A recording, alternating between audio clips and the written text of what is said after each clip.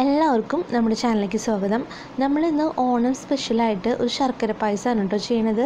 ഇതിനെ ശർക്കര പായസം എന്നും നെയ്യ് പായസം എന്നും അമ്പല പായസം എന്നൊക്കെ പറയും. വളരെ ഈസിയാണ് തയ്യാറാക്കാനായിട്ട്.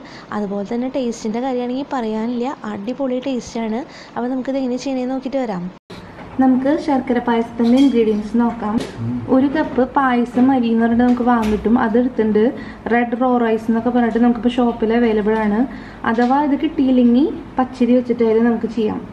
അപ്പം ഞാൻ ഈ അരി ഞാൻ ഒരു കപ്പ് ഞാൻ ഇപ്പോൾ ജസ്റ്റ് കാണിക്കാൻ വേണ്ടി എടുത്തതാണ്. ഞാൻ ഓൾറെഡി ഈ അരി കുതിർത്തിട്ട് ഒരു ഇരുപത് മിനിറ്റ് കുതിർത്തിട്ട് നല്ല പോലെ വാഷ് ചെയ്ത് എടുത്തു വെച്ചിട്ടുള്ളതാണിത്. നെക്സ്റ്റ് നമുക്ക് ഞാൻ ഇതിലേക്ക് കുറച്ച് നാളികേര കൊത്ത് കട്ട് ചെയ്തെടുത്ത് വെച്ചിട്ടുണ്ട്. ഇതിന്റെ അളവ് ഞാനിപ്പോൾ ചെറിയ പീസാണ് കട്ട് ചെയ്തേണേ. നിങ്ങൾക്ക് നിങ്ങളുടെ ഇഷ്ടത്തിനനുസരിച്ച് ആഡ് ചെയ്യാം കേട്ടോ അതുപോലെ തന്നെ കുറച്ച് കാഷ്നട്ടും കുറച്ച് കിസ്മിസും എടുത്തിട്ടുണ്ട്. പിന്നെ ഒരു മൂന്ന് ഏലക്കായ എടുത്തിട്ടുണ്ട്. പിന്നെ നെയ്യ് എടുത്തിട്ടുണ്ട്. ഞാനൊരു രണ്ട് ടേബിൾ സ്പൂൺ നെയ്യാണ് എടുത്തേക്കണേ. നെയ്യുടെ അളവൊക്കെ നിങ്ങളുടെ ഇഷ്ടത്തിനനുസരിച്ച് മാറ്റം വരുത്താം.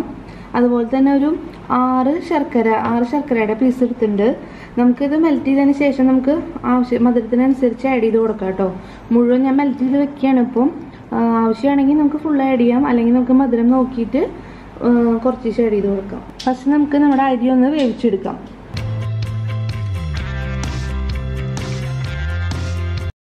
ഞാനിപ്പോൾ അരി വേവിക്കാനായിട്ട് വെച്ചിട്ടുണ്ട് കേട്ടോ. ഞാൻ ഒരു കപ്പ് അരിക്ക് ഒരു മൂന്നര ഗ്ലാസ് വെള്ളം ഒഴിച്ചിട്ടുണ്ട്. ഏകദേശം അരിയുടെ മേലെ നിൽക്കുന്ന രീതിയിൽ വെള്ളം ഒഴിച്ചിട്ടുണ്ട്. ഈ അരി വെന്ത് ഉടഞ്ഞ് പോകാൻ പാടില്ല. ഈ അരിയിലേക്ക് ഞാൻ നമ്മുടെ ഏലക്കായ കട്ട് ചെയ്തിട്ട് ആഡ് ചെയ്യുന്നുണ്ട് കേട്ടോ. നമ്മുടെ അരി വേവണ ടൈം കൊണ്ട് നമുക്ക് നമ്മുടെ ശർക്കരയും ഉരുക്കിയെടുക്കാം കേട്ടോ.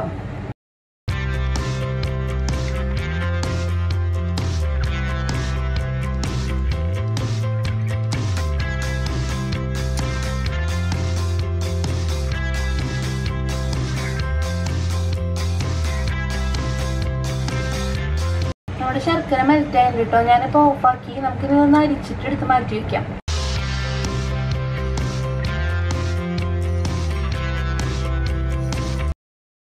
നമ്മുടെ അരി വെന്തുണ്ട് കേട്ടോ അപ്പൊ കറക്റ്റ് വേവായിണ്ട്. വെള്ളമൊക്കെ വറ്റി തുടങ്ങിയിട്ടുണ്ട് കറക്റ്റ് വേവാണ് കേട്ടോ നമുക്കിനി ഇതിലേക്ക് നമ്മൾ ശർക്കര പാനി ഒഴിച്ചു കൊടുക്കാം.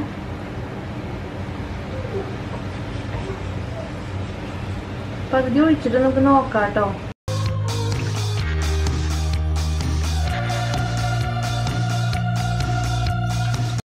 ശർക്കര പാനിയിൽ കിടന്നിട്ട് നമ്മുടെ അരിയിലേക്ക് ഇതൊക്കെ നല്ല പോലെ പിടിക്കണം ഈ ശർക്കര.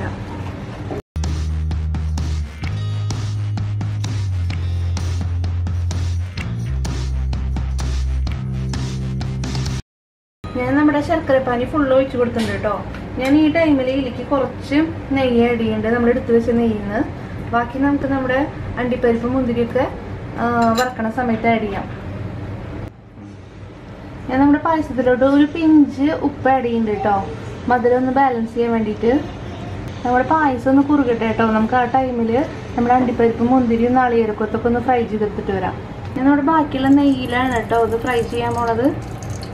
ഫസ്റ്റ് നമുക്ക് നമ്മുടെ നാളികേരക്കൊത്ത് ഫ്രൈ ചെയ്തെടുക്കാം കേട്ടോ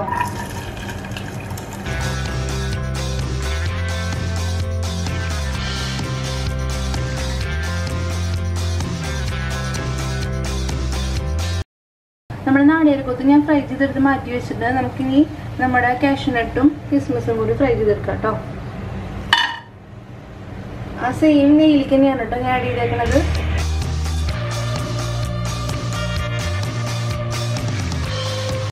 നമ്മുടെ കാഷ്നട്ടും കിസ്മിസും ഫ്രൈ ചെയ്ത് നമുക്ക് ആ നെയ്യോട് കൂടി നമുക്ക് ഇതിലേക്ക് ആഡ് ചെയ്യാം കേട്ടോ നമ്മുടെ പായസത്തിലേക്ക്.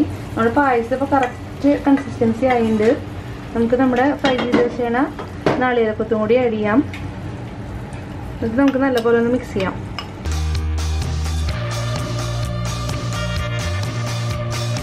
നല്ല നെയ്യ് പായസത്തിന്റെ സ്മെല്ല് വരുന്നുണ്ട് ഇപ്പോൾ ശരിക്കും നമ്മൾ അമ്പലത്തിൽ നിന്നൊക്കെ വാങ്ങുമ്പോൾ ഇതിൽ കൃഷ്ണ തുളസിയും അതുപോലെ തന്നെ തെച്ചിപ്പൂവൊക്കെ ആഡ് ചെയ്തിട്ടാണ് നമുക്ക് കിട്ടാറ്. നമുക്കിപ്പോൾ ഇവിടെ അതൊന്നും അവൈലബിൾ അല്ല. അപ്പോൾ നമ്മൾ ഞാൻ ഇങ്ങനെയാണ് ചെയ്തേണേ അതുപോലെ തന്നെ ഇതിൽ ഞാൻ എന്താ പറയുക ചുക്കിന്റെ പൊടിയൊക്കെ വേണമെങ്കിൽ ആഡ് ചെയ്യാം. ഞാനിപ്പോൾ ഒന്നും ആഡ് ചെയ്യുന്നില്ല. ജസ്റ്റ് ഇങ്ങനെ തന്നെ സെർവ് ചെയ്യാൻ പോവാണ്. നമ്മുടെ ശർക്കര പായസം ഞാനിവിടെ ഇലയിലാണ് കേട്ടോ സെർവ് ചെയ്തത് ഈ ഇലയിൽ നിന്ന് ഈ ചൂടുള്ള പായസം കഴിക്കാനായിട്ട് നല്ല ടേസ്റ്റാണ് നിങ്ങളെല്ലാവരും ട്രൈ ചെയ്ത് നോക്കണം. വീഡിയോ ഇഷ്ടമാണെങ്കിൽ ലൈക്ക് ചെയ്യണം ഷെയർ ചെയ്യണം. അതുപോലെ തന്നെ നിങ്ങളുടെ ഫീഡ്ബാക്സൊക്കെ കോമന്റ് ബോക്സിൽ തന്നെ അറിയിക്കണം കേട്ടോ.